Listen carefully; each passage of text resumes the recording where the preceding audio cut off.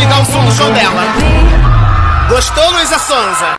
E aí, gente, esse vídeo é verdade ou não é verdade? Oi, pessoal, tudo bom com vocês? Gente, esse vídeo está viralizando nas redes sociais, que ali, supostamente, né, um rapaz bem estressado ali, digamos assim, né, com a Luísa Souza, ele acaba desligando ao som, né, a energia do show dela.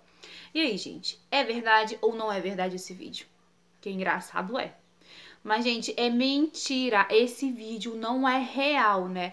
Não foi com a Luísa Souza esse vídeo que aconteceu, mas realmente aconteceu, tá? Realmente aconteceu ali que uma pessoa é, deu um apagão e tava acontecendo um show, mas não era da Luísa. Mas eu vou mostrar aqui pra vocês agora o vídeo original, gente, que também é engraçado.